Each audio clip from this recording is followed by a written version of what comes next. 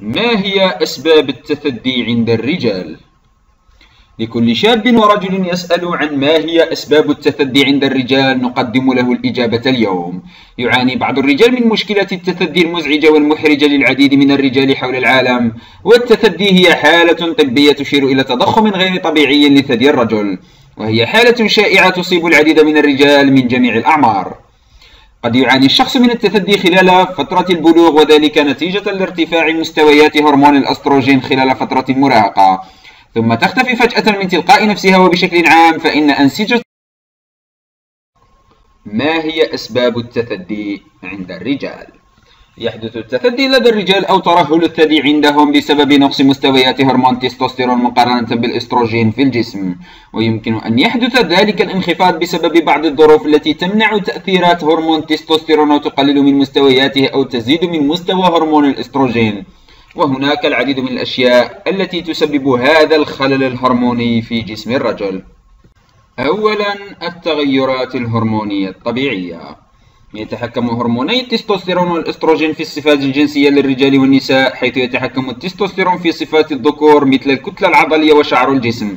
بينما يتحكم الأستروجين في الصفات الأنثوية منها نمو الثديين ويعتقد معظم الناس أن هرمون الإستروجين هو هرمون أنثوي فقط. ولكن جسم الرجل ينتج هذا الهرمون أيضا ولكن بكميات أقل من الموجودة في جسم المرأة. وعندما تكون مستويات هرمون الاستروجين لدى الرجل مرتفعة أو غير متوازنة مع هرمون التستوستيرون فإن هذا ما يسبب التثدي. وتشير التقارير الطبية إلى أن أكثر من نصف المواليد من الأطفال الذكور يولدون بأداء متضخمة وذلك بسبب تأثيرات الاستروجين من الأم. وبشكل عام تختفي أنسجة الثدي المتورمة خلال ثلاث أسابيع بعد الولادة. ثاني سبب لظهور التثدي عند الرجال هو الأدوية. هناك العديد من الأدوية التي تسبب التثدي والتي تشمل ما يلي. مضادات الأندروجين المستخدمة لعلاج تضخم البروستات وسرطان البروستات مثل الفلوتاميد وسبيرونولاكتون الأندروجينات والستيرويدات والتي يضيفها الأطباء لبعض الحالات أو التي تستخدم في كمال الأجسام وبناء العضلات.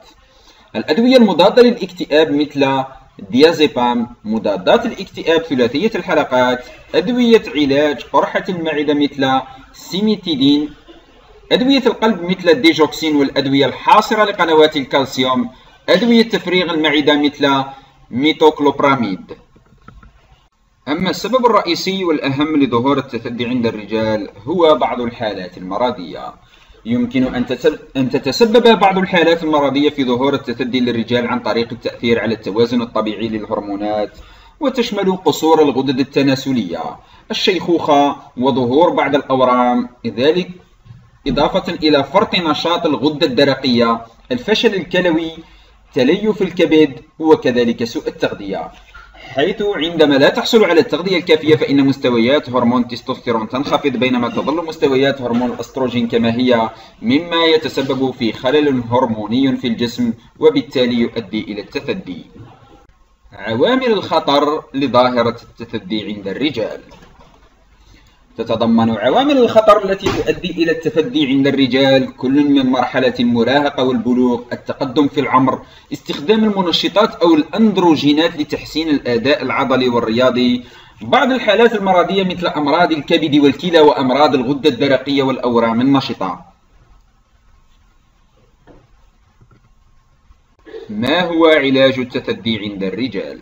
عادة ما يتم حل مشكلة التثدي عند الرجال دون أي علاج. ولكن إذا كانت هناك حالة كامنة فقد تحتاج إلى علاج هذه الحالة للتخلص من التثدي إذا كانت الحالة ناتجة عن استخدام دواء معين فقد يحتاج المريض إلى استخدام دواء آخر مختلف. وإذا كان استخدام هذا الدواء لفترة قصيرة فسوف تكون الحالة مؤقتة.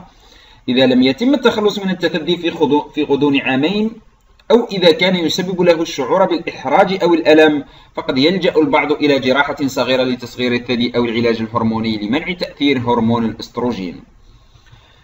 وفي الأخير التثدي هو أحد العالات المزعجة التي تؤدي إلى ظهور الثدي لدى الرجال بشكل أكبر من المعتاد والذي ينتج في الأساس عن اختلال التوازن بين هرمونات الذكورة والأنوثة.